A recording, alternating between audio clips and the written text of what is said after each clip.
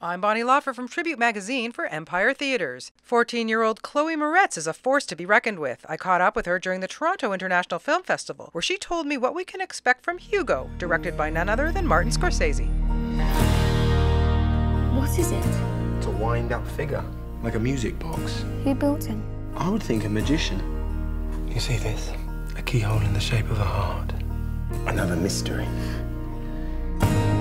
I play a young French Parisian Audrey Hepburn type girl where she's she's sweet and, and charming and just energetic and and naive yet so smart and intelligent and, and you know she's she read you know Wuthering Heights when she was like you know five years old you know very intelligent and book smart.